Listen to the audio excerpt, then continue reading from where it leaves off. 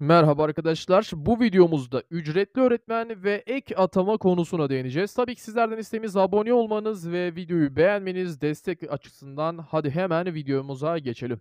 Şimdi yorumlarda da düşüncelerinizi bekliyoruz. İlk önce e, ücretli öğretmenle başlamak istiyorum. Bu arada ek atama ile ilgili de ayrıyeten bir videomuz var. Onu da izleyebilirsiniz. Ücretli öğretmenler için şunu söyleyelim ki e, biliyorsunuz ki 10.000 kadro konusu ve ücretli öğretmenlere kadro verilmesi konusu yine gündemde olan bir durumda.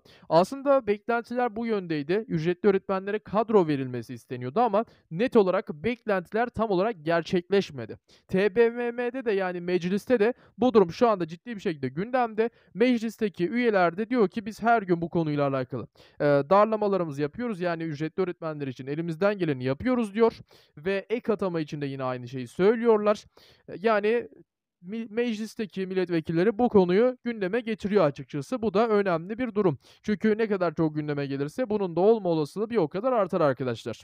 Şimdi ek atamaya geçelim. Ek atada eee, ek atamada da yine 100.000'lik bir atama olması için, eee, mecliste yine bunun duyurulduğu, mecliste de yine bu konuyla alakalı, eee, 100 a 100.000 atamanın gündeme geldiği söyleniyor ki bu çok güzel bir haber aslında. Çünkü, ne kadar çok fazla dediğimiz gibi bu konu gündeme gelirse bir o kadar da olma olasılığı o kadar artar.